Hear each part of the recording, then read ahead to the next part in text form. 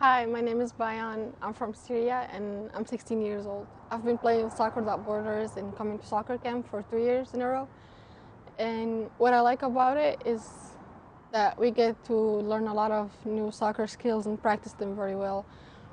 Also, we get to meet a lot of new people and just get to know them very much and like make new friends.